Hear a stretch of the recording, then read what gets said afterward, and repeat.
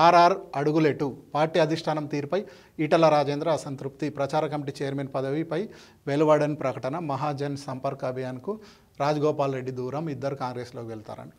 చూసినా ఇది మనం ఎప్పటి నుంచో రాష్ట్రంలో చాలా చర్చ జరుగుతుంది.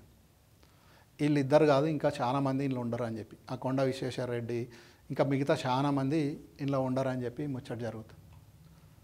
బీజేపీ అనేది పాల పొంగు అన్న విషయం వీళ్ళకి తెలవడానికి కొంచెం లేట్ అయింది.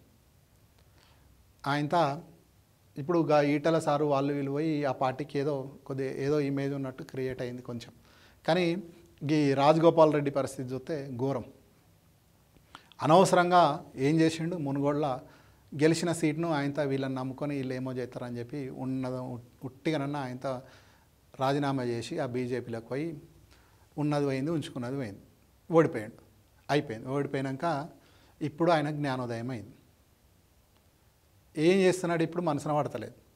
ఇల్లది తెలివి బాగుంటుంది కోమటిరెడ్డి బ్రదర్స్. ఏం చేసిర్రు? మళ్ళా అదే తెలివిగా ఏం చేసిర్రు అంటే ఒక ఆయనేమో అందులోనే ఉన్నాడు కాంగ్రెస్లో. ఈయననేమో ఇటు ప్రయోగం చేసిండు. ఒకవేళ బీజేపీలో మనం గెలిస్తే ఏమైనా అవుతుందేమో చూద్దామని చెప్పి. ఈయన పోయి ఓడిపోయిండు ఇక ఆయన రాలేదు. ఇప్పుడు ఏం చేస్తుర్రు ఏ ఏ ఎండకు ఆ గొడుగు అంటారు కదా? ఇప్పుడు కాంగ్రెస్ ఏమన్నా అవుతుందేమో అని చెప్పి ఇప్పుడు ఆయన అక్కడ ఉండి ఈయనను పిలుస్తున్నాడు. పిలుస్తుంటే ఈయనకు కూడా మనసున పడతలేదు ఈ బీజేపీలో ఉంటే మనతో అయ్యేటట్టట్లేదని చెప్పి మళ్ళా ఇక బీఆర్ఎస్లో అయితే వీళ్ళకి అవకాశం లేదు మళ్ళీ బీజేపీ సైడ్ చూస్తున్నాడు. చూస్తుంటే అది కాంగ్రెస్ సైడ్ చూస్తున్నాడు వీళ్ళ అన్నను ఆయన ఈయనను ఇటు తీసుకురావడానికి ప్రయత్నాలు చేస్తున్నాడు. కానీ అంత ఉత్తముచ్చట కాదు. ఈ బీజేపీని వదిలిపెట్టి పోవాలంటే ఉత్త ఆయన ప్రజాస్వామ్య మంచి లీడర్ అయి అద్భుతమైన ప్రజానాయకుడు అయితేనేమో ఈ బీజేపీలను వదిలేసి పోతే పోయే పరిస్థితి ఉంటుండే. కానీ ఇది ఉత్తముచ్చట కాదు. ఏంటంటే ఈయనకు పద్దెనిమిది వేల కోట్ల కాంట్రాక్ట్ ఇచ్చిరా కేంద్ర ప్రభుత్వం. ఈ ఆ మునుగోడు ఎలక్షన్లలో మొత్తం ఆయనే ఒప్పుకున్నాడు ఒక టీవీ ఇంటర్వ్యూలలో పద్దెనిమిది వేల కోట్ల కాంట్రాక్ట్ ముంగట ఈయన ఎమ్మెల్యే ఇప్పుడు ఈ పార్టీలకు పోయి అక్కడ ఎమ్మెల్యే ఉండి అవన్నీ వచ్చేది ఉందా పోయేది ఉందా? ఇప్పుడు కాంగ్రెస్లోకి పోతే ఏమవుతుంది ఈయన కాంట్రాక్ట్ ఆ బిల్లులు ఇస్తారా ఈయన కాంట్రాక్ట్ నాగం చేయరా? ఈయనకి ఎటు పోలేని పరిస్థితి అయింది. ఈ పద్దెనిమిది వేల కోట్ల కాంట్రాక్ట్ ఎట్లా? మరి బీజేపీలో ఉంటే ఆగమయ్యేటట్టుందే రాజకీయం కెరియర్. మళ్ళీ కాంగ్రెస్కి పోతే వాళ్ళు ఊకోరాయి. ఇట్లా ఆగమాగం అవుతుండే అటు పోలేక ఇటు పోలేక ఈయన పరిశాన్ అవుతుంది అదేవిధంగా ఆయన ఈటల రాజేందర్.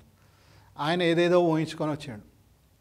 మొత్తం బీజేపీ ఏంటంటే అస్సాంలో ఆడ ఈడ కొంతమందిని బీజేపీ వేరే పార్టీల నుండి వచ్చిన వాళ్ళకి కూడా కొద్దిగా ఉన్నత పదవులు ఇచ్చారు. ఇక నాకు కూడా అట్లనే ఇస్తారనుకొని ఆయన వచ్చాడు. వచ్చినాక ఏమైంది? ఈడ ఆయనను మెస్లని ఇత్తలేరు అయిపోయింది. ఏదేదో హామీలు ఇచ్చిరట ఏదేదో హామీలు ఇచ్చి ప్రచార కమిటీ చైర్మన్ ఇస్తాం అది ఇది అని చెప్పి మొత్తానికి నానుస్తున్నారు. ఇప్పుడు మన విభజన పెండింగ్లు ఎట్లున్నాయి? ఎట్లా నానుస్తారు?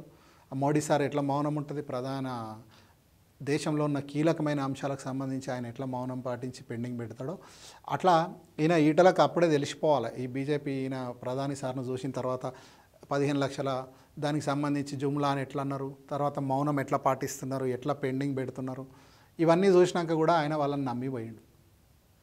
పోయినాక ఏమైంది ఇప్పుడు? ఇస్తలేరు. ఏం ఇస్తలేరు? ఉన్న దాంట్లోనే ఆయననే అనుమానపడుకుంటూ చూస్తున్నారు. ఆ పార్టీ వాళ్ళు ఉండాలన్నా పోవాలన్నా అర్థమైతలేదు. ఇప్పుడు ఎటు కాని పరిస్థితిలో ఉన్నారు. వీళ్ళు ఇప్పుడు కాంగ్రెస్లో కోతారని చెప్పి అయితే ప్రచారం జరుగుతుంది కానీ అంత ఈజీ కాదు కాంగ్రెస్లో కోతే బీజేపీ వాళ్ళు ఊకోరు. వీళ్ళ దగ్గర ఐటీ సిబిఐ ఈడీ ఉన్నాయి. మరి వీళ్ళు వ్యాపారాలను వదిలేసి మేము పోతాము అనేంత ధైర్యం ఉన్న నాయకులు అంటే మరి అది కూడా చెప్పలేం. గట్లా వీళ్ళ పరిస్థితి ఏందో వీళ్ళకి ఏమైందో అర్థం కాదు. వీళ్ళిద్దరే కాదు నిజంగా చెప్తే బీజేపీలో ఉన్న చాలా మంది పరిస్థితి ఇట్లానే ఉంది. ఎటు పోవాలనో అర్థమవుతలేదు గా పొంగులేటి జూపెళ్ళి ఆయన కూడా వాళ్ళు కూడా ఏమైంది? ఇటు వస్తామని చెప్పి రాకపోయా. ఎందుకంటే ఈ పార్టీలకు రావాలంటే ఇక్కడ ఉన్నది లేదు పోయింది లేదు. పోనీ ఆ కాంగ్రెస్కి పోదామంటే అక్కడ కూడా ఉన్నది లేదు పోయింది లేదు. అందుకని ఆ పొంగులేటి ఆయన ఏం చేయాలో అర్థం కాక చూసి చూసి చూసి ఇప్పుడు కాంగ్రెస్కి పోతా అని చెప్పి అంటున్నాడు అని అంటున్నారు. అది కూడా ఏమవుతుంది అనేది తెలియదు మొత్తం వీళ్ళిద్దరు నిజంగానే బయటకు వచ్చుడు కష్టమే కానీ వీళ్ళిద్దరు బయటకు వస్తే ఇంకా చాలా మంది ఉన్నారు. వాళ్ళందరూ కూడా బయటకు వచ్చేస్తారు. ఇంకో ముచ్చట ఏమంటున్నారంటే ఇక మనకు వీళ్ళ రాత ప్రకారం వీళ్ళు ఏం రాసిరంటే మరి ఈటల మూడో పేజీలో ఉంది ఒకసారి చూద్దాం. ఈటల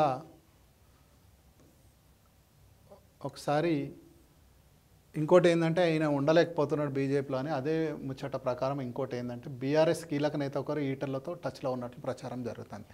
ఆ మరి ఇదైతే మరి ఆశ్చర్యకరమైన విషయమే. ఆయనకి ఇప్పుడు కాంగ్రెస్లోకి పోవాలన్నా అక్కడ పోటీ ఎట్లుందో తెలుసు. నిజంగా ఈటలకు ఏదైనా సేఫ్ ప్లేస్ ఉంది విలువ ఉంది అంటే బీఆర్ఎస్లోనే. కానీ ఆయన అక్కడ ఖరాబ్ చేసుకున్నాడు. మరి ఇప్పుడు మళ్ళా వీళ్ళు రాసిన కథనం ప్రకారం అయితే వీళ్ళు కాంగ్రెస్లోకి పోయే అవకాశం ఉంది అంటున్నారు అదేవిధంగా మళ్ళీ బీఆర్ఎస్ నేత ఒకరు కూడా కీలకంగా టచ్లో ఉన్నాడు ఈటలతో అంటున్నాడు. మరి చెప్పలేం. ఈటల బీఆర్ఎస్కి వచ్చినా చెప్పలేం. ఎందుకంటే సీఎం కేసీఆర్ ఆయన నుంచి రావాలి స్వయంగా. మరి ఎందుకంటే పెద్ద వైరం ఉండే. ఆయన మరి రాణిస్తాడా లేదా అనేది తెలియదు కానీ రాజకీయాలలో ఏదైనా సాధ్యమే. ఈయన బీజేపీలోకి పోయినప్పుడే మనము అనుకోవచ్చు. ఏదైనా సాధ్యమే రాజకీయాలలో. కనుక మళ్ళా ఈటల బీజేపీకి వచ్చినా మనం ఆశ్చర్యపోనవసరం లేదు అట్లా కొన్ని ఉన్నాయి. ఇక ఇంకోటి ఏంటంటే వీళ్ళు పోతారని చెప్పి బాగా వార్తలు వస్తున్నాయి కదా వస్తుంటే మనం ఒకసారి సాక్షిలో కూడా చూద్దాం. దీనికి సంబంధించిన వార్త ఏదో ఉన్నట్టుండే. ఇందాక చూసిన నేను. ఇగో. ఈటల రాజగోపాల్ రెడ్డికి ఢిల్లీ పిలుపు.